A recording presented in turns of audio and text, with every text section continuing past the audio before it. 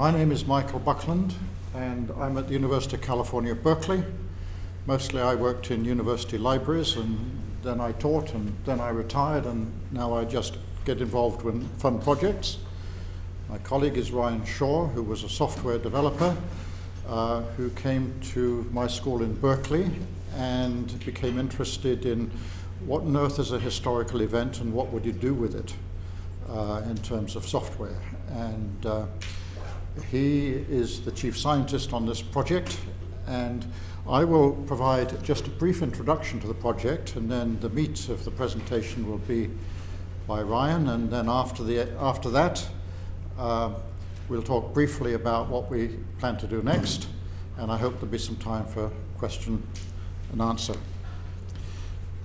We should acknowledge that the work is funded by the Mellon Foundation, primarily with some help from the Coleman Fung Foundation. Now, scholarly annotated editions of historically important texts are a major resource in the humanities. They're needed for all kinds of purposes. They're very hard to prepare. It takes a lot of highly specialized expertise over a long period of time. They're expensive to produce. They're difficult to fund. And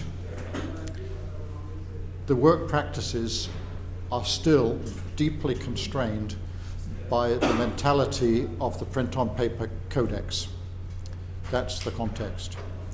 We became uh, involved with the Emma Goldman Papers project. Emma Goldman was a notorious anarchist 100 years ago, barnstorming across the United States giving inflammatory speeches, a charismatic figure. And the more we learned about the circumstances under which the editors prepared their material, uh, the more appalled we were.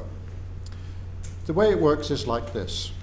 The editor finds an interesting letter addressed to Emma Goldman, and it's signed perhaps by Fred Schmidt. The first question is, who was Fred Schmidt? And probably that was not his real name because the anarchists that she corresponded with didn't want to get deported, so they used pseudonyms. So, who was Fred Schmidt really? And what was interesting about him? And what was his connection to Emma Goldman?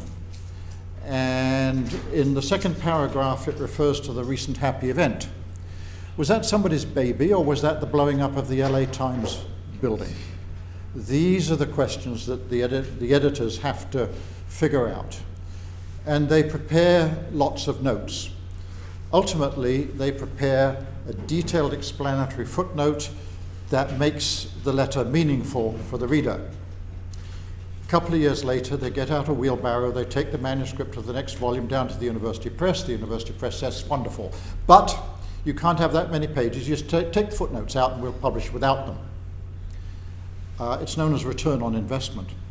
Meanwhile, in New York City, uh, the editors of the Margaret Sanger papers are doing their work. Now, Margaret Sanger, the uh, uh, advocate for women's rights and birth control, moved in a similar social circle to Emma Goldman. They knew each other, and it's quite likely that they have a letter from Fred Schmidt. So their question is well, who's Fred Schmidt? They don't know the people at Berkeley have already been working on this. And who was he really, and what's his connection to Margaret Sanger, and why is he interesting, and this sort of thing. Two years later, they get out a wheelbarrow, they take the manuscript for the next volume to the university press, and the press says, Wonderful, too many pages, take the footnotes out. You get the picture.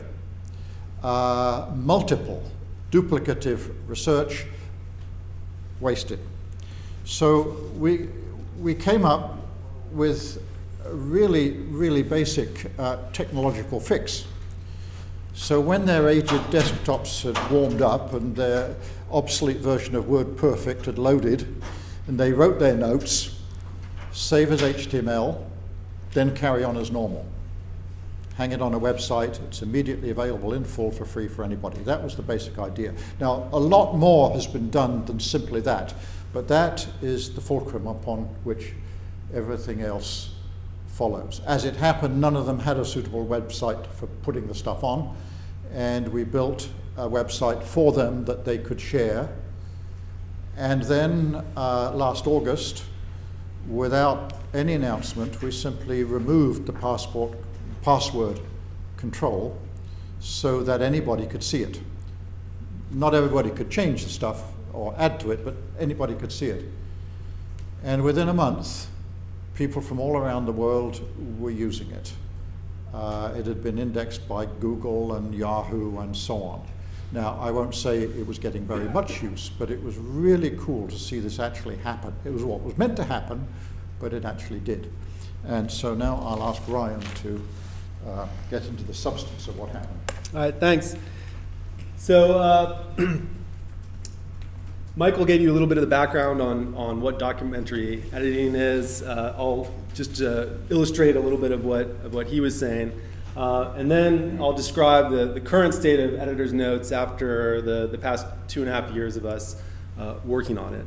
Um, then the second part of the talk will be talking, I'll be talking about uh, what we're looking to do going forward. Um, so we just received uh, new fundings. We'll be working on this for at least another two years.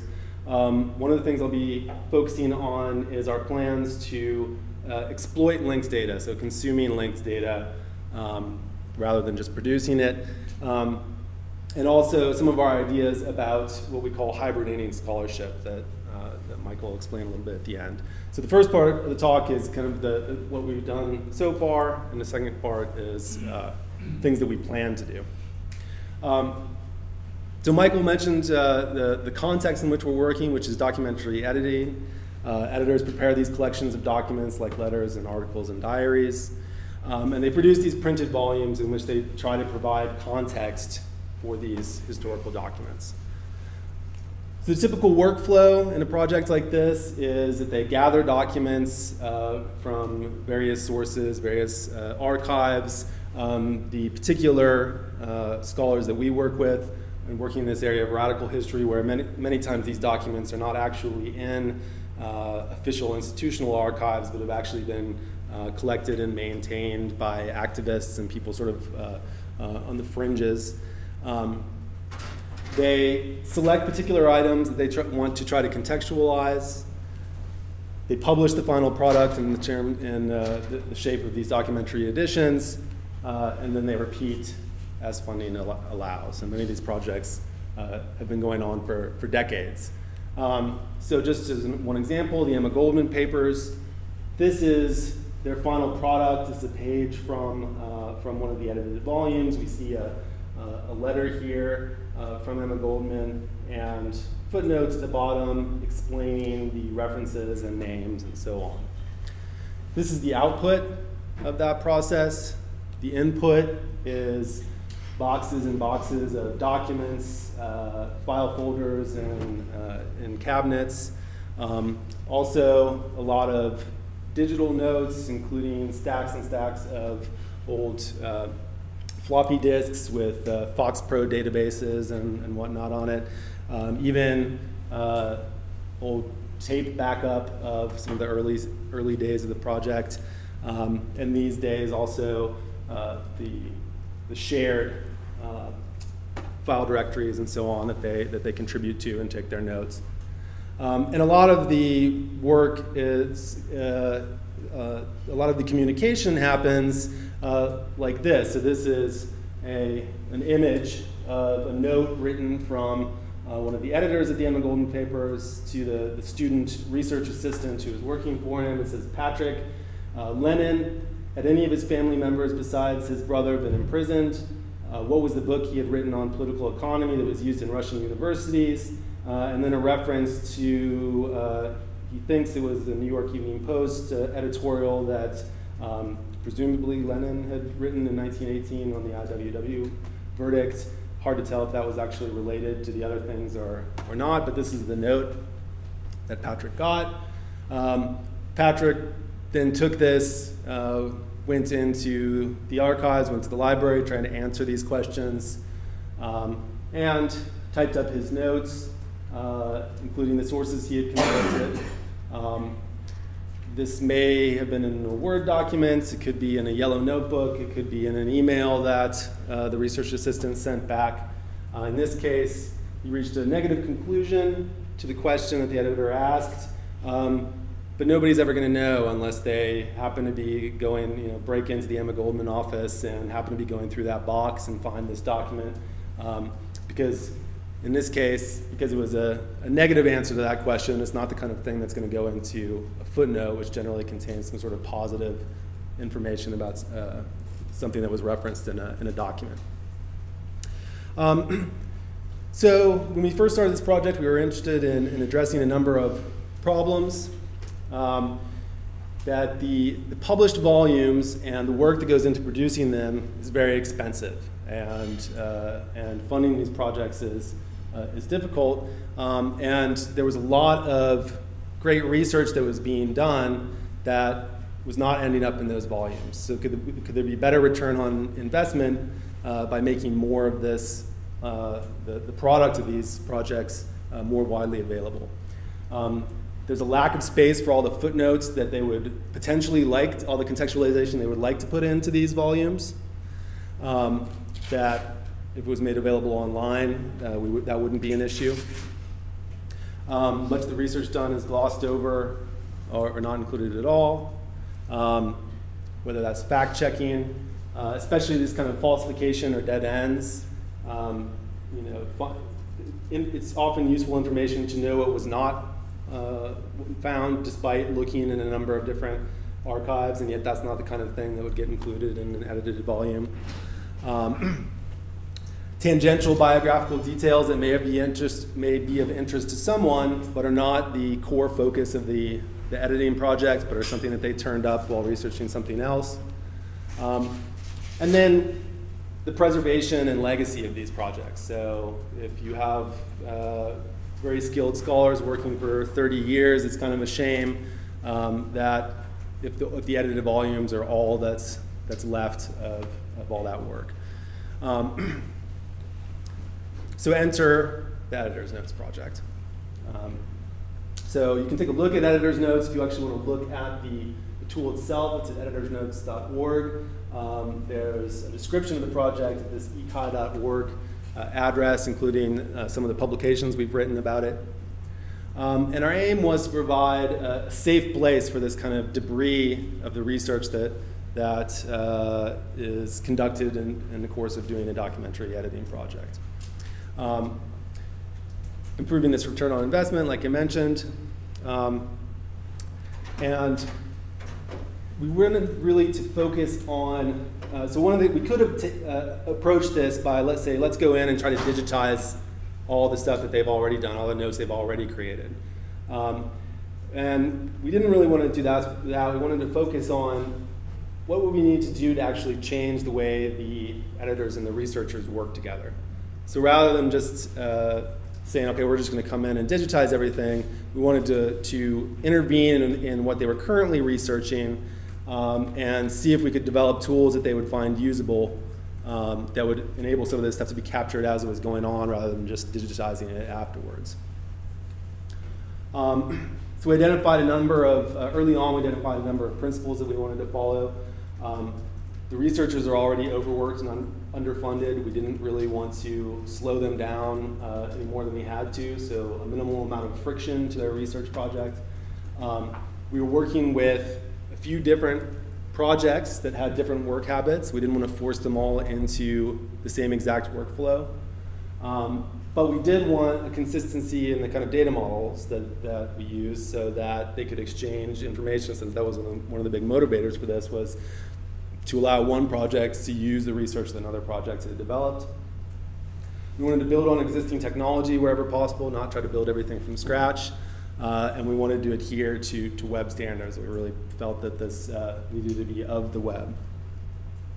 Um, so the underlying data model basically looks like this. Uh, there's the notes that the scholars and researchers produce. Um, notes can be divided up into individual sections.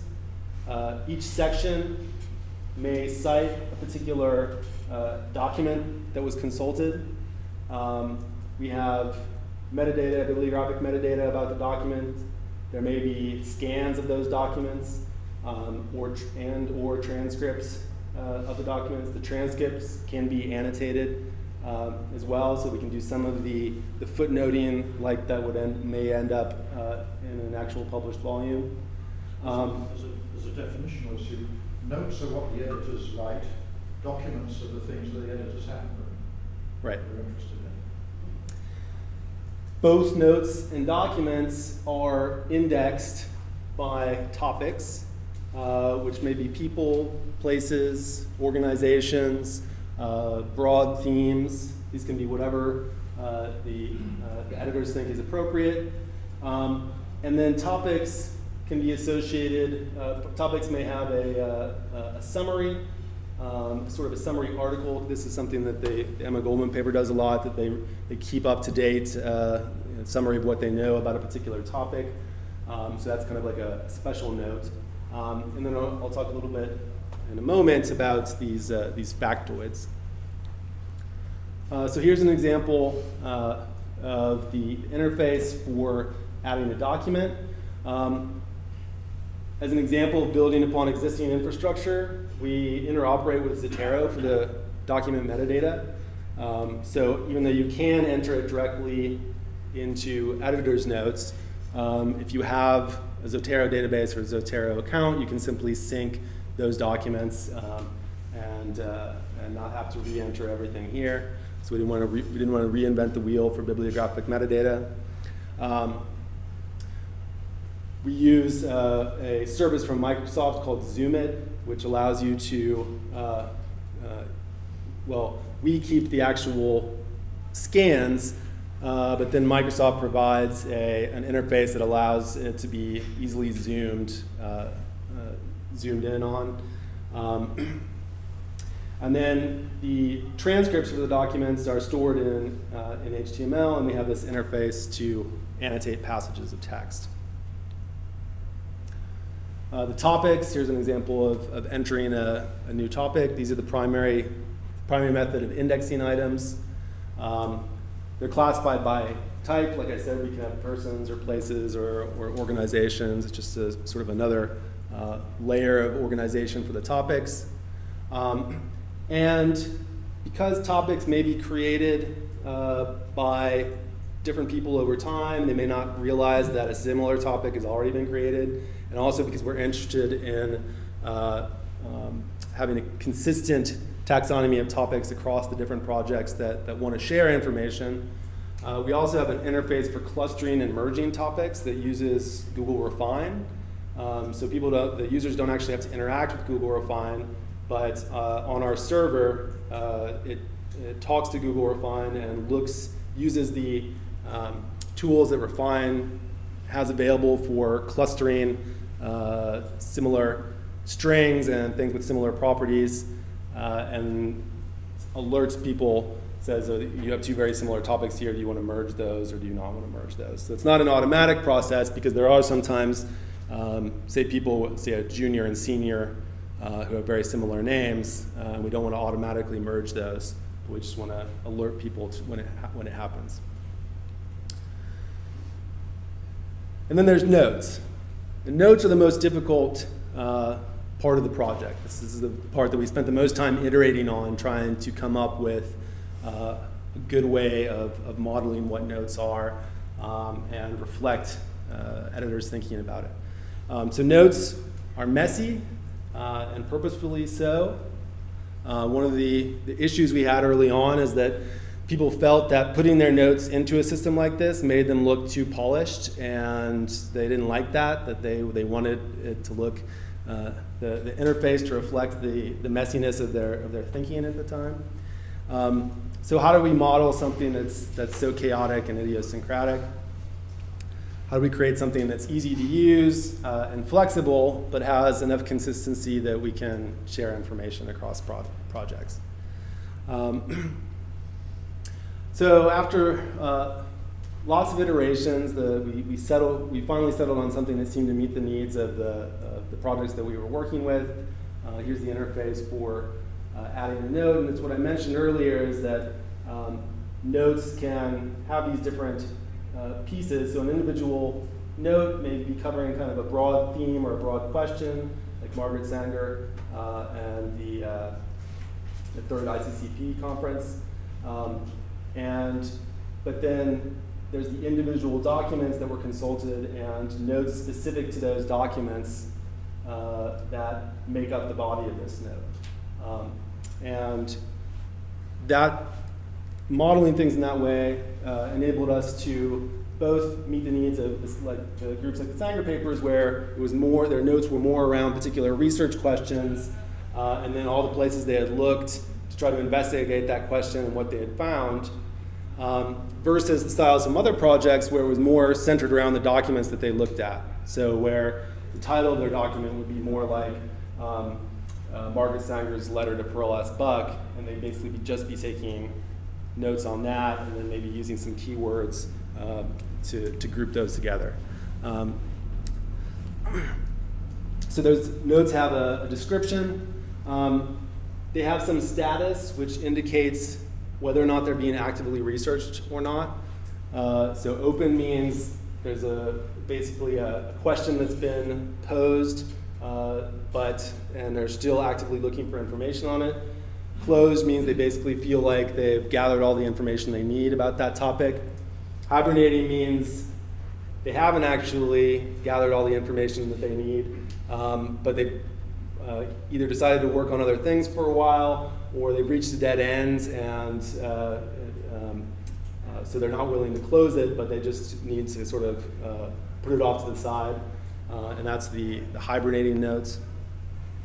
Uh, they can assign users to a particular note. So if we go back to the example I was showing earlier, the editor could create the note about Lenin's brother or whether other people in his family had been jailed uh, and assign that to Patrick uh, with his initial questions there. And then Patrick could take that over, see it had been assigned to him, and add his research uh, to it.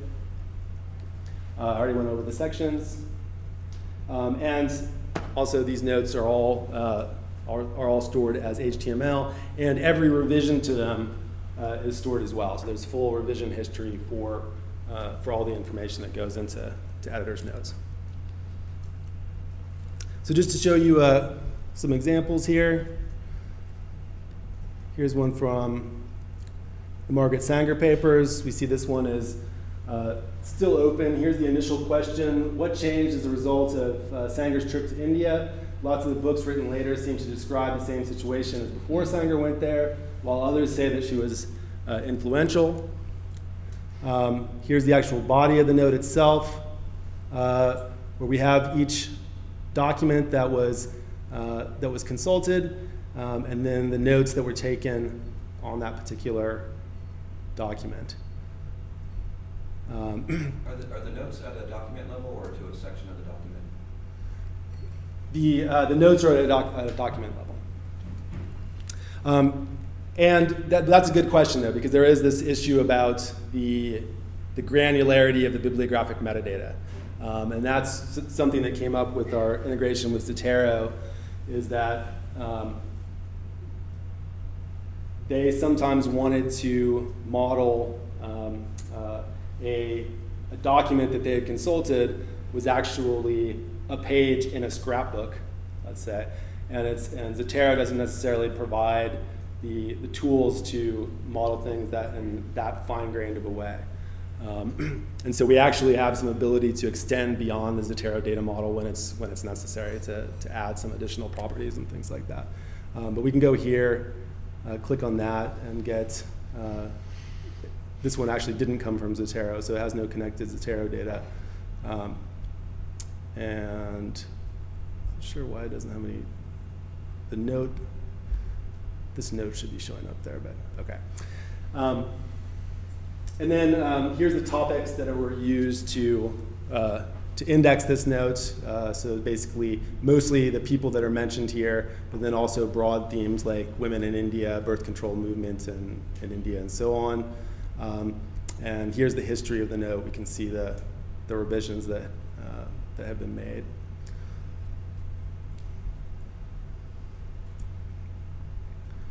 Um, a slightly different style of using editor's notes. This is from the Stanton Anthony papers.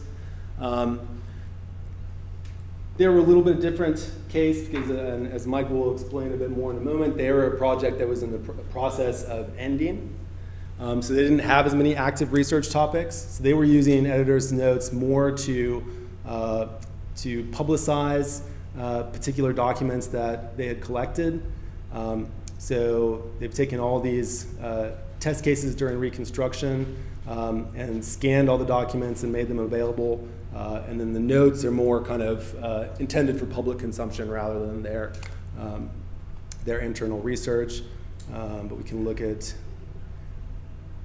filter by particular publications. Um, and here we can see an example of uh, something that we have scans for. Well, there's not much to this scan, but um, this shows the, the zooming interface and so on.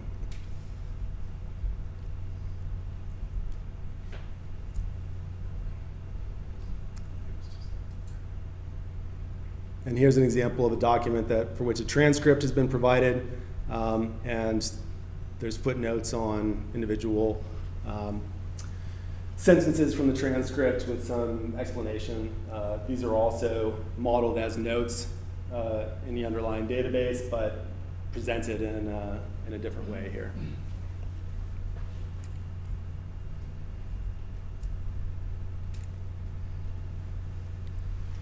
Okay, so what changed is the basis of, uh, um, uh, of using editor's notes rather than doing things the way that uh, uh, these projects had been doing it. Um, the notes themselves changed from these totally free text documents to these uh, semi-structured blocks that can be rearranged in different ways. And this is one of the cited as one of the best benefits of using editor's notes from the projects is that uh, whereas before they had uh, even one, even projects that were uh, that mainly worked digitally would basically have a single RTF file or a single Word file, and that was in one uh, one folder in their um, their shared server.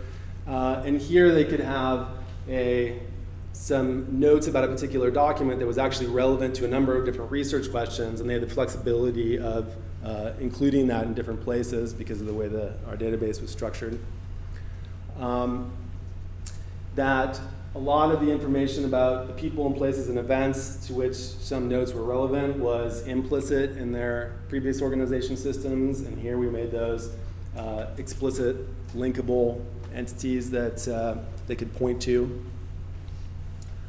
Um, and most importantly, from our point of view, is a lot of this stuff that was stuck in these filing cabinets uh, was now openly available on the web uh, something they could, they could cite.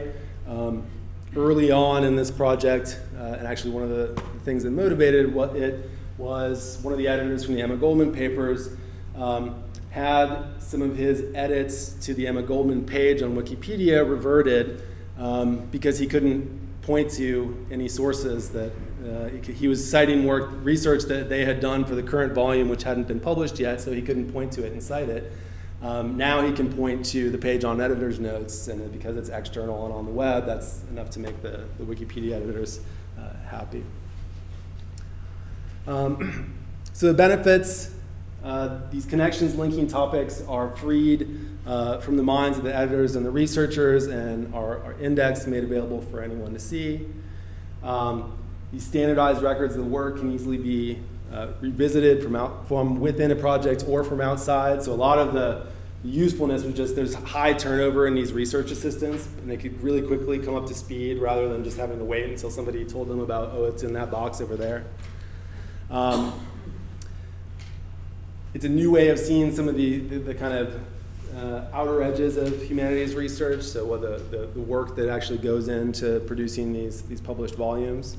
Um, and uh, it's also evidence of the work that's actually going on in these projects, also important from a kind of PR funding point of view for a lot of these, uh, for a, a, project, it's like, well, your last volume came out uh, eight years ago. What have you guys been doing? And you can actually say, uh, point to, well, there's, we've been doing a lot.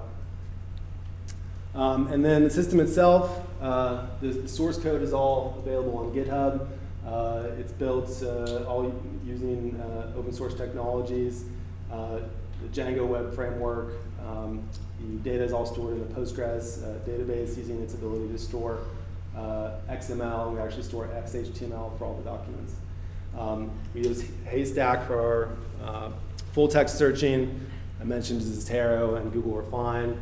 Um, and when we opened up to the public and allowing other people to create accounts, we started using Mozilla Persona for ID management, um, which I highly recommend. It's a very nice way to avoid having to uh, keep passwords and, and personal information about uh, users, um, but not require them to use a Facebook or Google or other privacy invading method of logging into your tools. Their personal information is actually stored in their browser. Um, and yet they can still get the kind of one password uh, um, login to, to sites. Were you uh, registered as authoritative for the domain, or are you just pointing people back to Mozilla as the authoritative site for Persona? Um, I am not the person who actually implemented this, so I'm not, I'm not sure if I can actually answer that question. But uh, uh, so uh, Patrick Golden, who's our uh, lead developer right now, uh, could answer that question. But from the point of view of the end user, um, they click on a button on our site and it pops up a window which has the uh, which is from Mozilla. But then it is storing information in your browser. So like when I sign on, I get it stores it in the uh, the local database and. Um, so I'm not sure about all the different models that uh, and, and, how exactly that uh, that works, but it's, it's worked pretty nicely for us. Um, Okay, so looking forward to what we're planning to do for at least the, the next two years. Um, so there was a lot of desired enhancements that came up in the process of, of getting to where we are now. Uh, one of the things was there's a desire for better sorting and filtering and aggregating of notes uh, beyond what we can currently uh, allow. Um, there was uh, desire for, we have, I mentioned a little bit of the, uh, the naming control in terms of the, the clustering and merging of topics, um, uh, but also making things discoverable in other kinds of contexts. So uh, if somebody has uh, uh, an archival finding aid that's mentioning some of these people, making it easier to integrate maybe some of the interesting related uh, notes that have been taken about the people mentioned in that finding aid. Um, and then also wanting to have these cool temporal and geospatial and relational visualizations of the, the research data that was being collected. Um, and all these things pointed to a need for more structured data. So a lot of the reason we couldn't um, provide the uh, enhanced sorting, sorting and filtering of things was that the editors wanted to enter everything uh, as free text. They didn't want to fill out forms, and yet if we didn't have that structure, uh, it made it a lot harder to do those sorts of things. So there's kind of three basic approaches uh, for adding structured data to these semi-structured documents. One, which was a non-starter for us, was uh, forcing kind of more schema-based authoring, um, basically filling out more form-like interfaces, and, and for these kinds of messy notes, the, the, the editors don't really want to do that. Um, another possibility is that we do some kind of trying to automatically enhance the, these textual documents with, with metadata, so using some, some information extraction uh, software to try to identify named entities and reconcile them uh, automatically.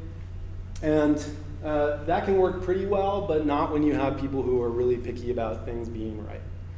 Um, so if you're willing to accept uh, mistakes and, uh, and bad data, um, then that can, that can work okay. But um, again, we found that this was not uh, something that, that uh, our users are going to be happy with. Um, uh, but something we did want to experiment with was human in the loop reconciliation of topics that were being researched to external data sets where we could import structured data that other people had been producing, uh, particularly um, from the library community, uh, also sources like Wikipedia, um, and we're hoping going forward also from more and more from archives.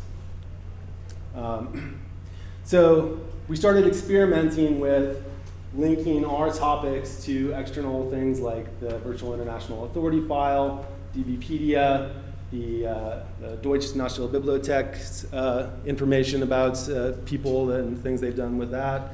Um, British National Biography. So all these, these emerging sources of, of linked data. Um, so an early uh, experiment in this vein, uh, we developed this linked data harvester that where we basically, as people created topics, we'd send their topic names uh, to uh, um, uh, a service called sameAs, which would then return uh, candidate URIs for, each, for each of our topic names. Um, and then we would go and get representations of those uh, candidate URIs um, from these various sources and uh, basically harvest a bunch of assertions that have been made about, say, Emma Goldman in these various sources. So we get back all these, uh, these statements. Um, and we would actually separately store in separate graphs the information we got from different sources. Uh, and then we provided an interface to the editors um, where they could see the uh, assertions that had been harvested and basically accept them or reject them. Um, and they could do that either at an individual assertion level, um, they could do it at a property level, saying this is a property that I don't really care about, so don't show me this anymore, uh, or at a whole source level, like uh, uh you know, Freebase has terrible information. Don't show me Freebase anymore. Don't show me Freebase anymore as it relates to, to Emma Goldman. Um, so that was a, a, pilot project that we did uh, kind of in, in, in, trying to actually be a, a consumer uh, of linked data. Um, and we learned that it was possible to build this system to automatically harvest these, this relevant linked data. Um, and that we could provide this interface for interacting with it. Um, but we also found that this editorial control needed to be better integrated into the note-taking process so that people, uh, it violated uh, our principle of not adding friction by having this extra thing to do where you go in and accept or reject statements. Um, we also didn't adequately demonstrate why you would want to do this. Um, we started out with collecting data rather than immediately trying to, to add some of the benefits that, that I mentioned uh, of having structured data. Um, so we decided that when, to do this properly, we needed to not just aggregate and edit the linked data, but really try to usefully uh, exploit it. Um, so in our, our, what we're currently working on, um, is trying to address some of those issues. So having in-process reconciliation where rather than separately creating topics and then later reconciling them in this uh, in separate batch process, um, that editors are creating and linking to and reconciling topics as they take notes. I'm sure we're trying to make interfaces that are making that easier to do. Um, and then, most importantly, motivating this structured data use um, enabling them to, uh, well, in, whereas before we were just enabling them to store and edit the data, but not really providing the incentive for them to do so, um, now we're trying to uh, have a system in which they immediately get new abilities to sort and filter their data or to create simple visualizations by doing it. So there's immediate payoff uh, for linking to structured data. Um, so we already, where we do have structured data is the bibliographic metadata that we have. Uh, and so we already uh, provide tools for sorting and filtering based on, on that data. Um, and now what we plan to do is extend that uh, so we can filter and sort notes, not only using the dates of the cited documents, but information like the locations and birth and death dates of the people referenced in the notes, locations and dates of the existence of the organizations, locations and dates of the events that are referenced. Um, in terms of visualization, so this is an example of sort of a side project that we did um, where we created a visualization based on notes from the Emma Goldman project where they maintain an internal chronology of where Emma Goldman was uh, on each day. Um, and we linked those to documents that they had scans of. Um, and then we gave you the ability to narrow down on a timeline and, and uh, search on a map uh, to see particular places that she had been and, and follow her travels. Um, and this entire uh, document is actually all uh, uh, self-contained um, graph of, of linked data. It's all RDFa embedded in a single page there, and then the JavaScript interface for, for interacting with it. Um, so the editors really liked that. They wanted to do more things like this, but it was a lot of work just creating it for this one chronological document. So that's the, uh, the kind of thing that we want to make easily available, um, but for any of the, the note-related data. So a note on Rama Rau and the fourth International Conference on Planned Parenthood is no longer, uh, we, we, want it to no longer just be uh, available as a textual note, but also visible as a map of the specific locations in Stockholm and Bombay that are mentioned in the note, uh, a timeline of dates associated with the conference, a network of relationships among the, the people and organizations at the conference. Um, so basically any topic which has geographic coordinates we can map any topic that has time points or ranges, uh, can be put on a timeline. Any relationships among topics can be visualized as a network. Um, and we expect the benefits of this. We hope that these, the, the working notes will become more repurpose, repurposable, um, that they're not just things that uh, we can read, but we can actually feed them into uh, these visualization tools. Um, they can become more discoverable because we've linked our topics to standard identifiers for things, so it becomes a lot easier for somebody else to come along and query uh, these repositories of notes for everything that's relevant to uh, a particular topic. Um, and the last thing is shifting the focus of these projects from the one-shot product, the edited volume, to this continuous data curation process. So to really uh, uh, uh, see the projects more as the, this continuous um, uh, production of and collecting data from archives and adding to it and enhancing it and then and, uh, and making it available again. I think we're almost on time, but that's the, the last um, kind of piece of the puzzle here is what happens when these projects end and can we build systems that continue to be available for others to pick up even once the, the funding is no longer available? And that's the, the hibernating scholarship avail, uh, um, idea that maybe we have a, a minute or two to, right. I'll just steal a, a minute or two. Uh, in addition to all that, the editors found their editorial projects easier to manage with this because they could tell who had got made how much progress with what. It's also the case that curators of special library collections have a similar knowledge and could make similar notes about the documents in their collection, and we experimented with that. And we, it's also true that archivists, professional archivists, know a lot about the documents under their care, and they can, could do a similar sort of thing, and we hope to explore that with the California State Archives. In the second phase, which started this week, um, in addition to trying to explore what archivists could do, um, and the what Ryan has just been describing, which I would describe in the following way. If you go to a big digital humanities conference, you get these presentations of really expert people who've spent hundreds of thousands of dollars developing some really spiffy visualization how can you get some version of that functionality down to the level of these poor people who are working so hard and are not about to take the time to learn much? Uh, that's driving what Ryan was talking about. But the hibernating scholarship issue is this. Nobody seems to know what happens to these editors' notes when the projects end. The granting agencies, they give a grant to produce the manuscript for publication. The moment the manuscript for the last volume goes to the press, the staff are laid off. Period. Seriously, this is a soft money business. And uh, if it's a founding father or a president, then probably the project will be sustained and the records will be sustained.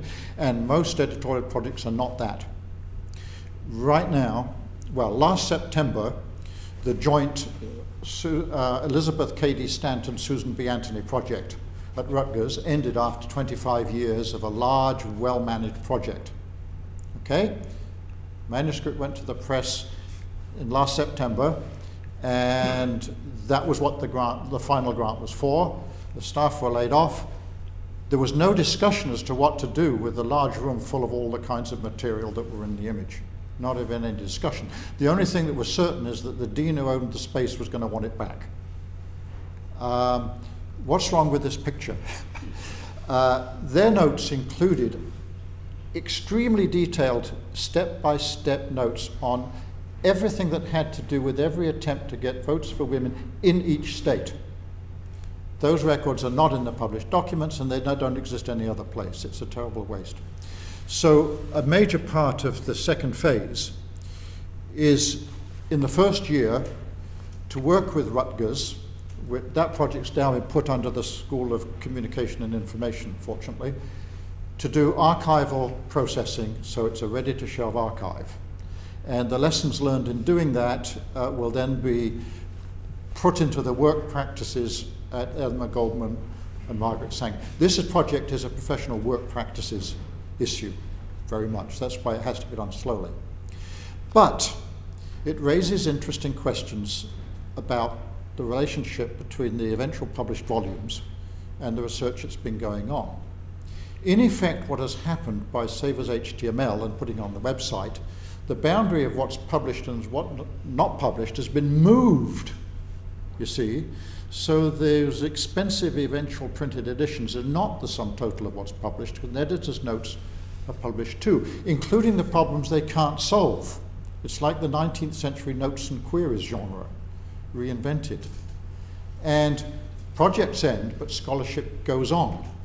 And not only can they look forward to that frustrated, obsessive local historian in Possum Creek who has the membership list of the Emma Goldman Admiration Society uh, in 1895 and doesn't know anybody interested enough to share it with. Um, but it invites 180 degrees turnaround on the relationship between the published volumes and the working notes.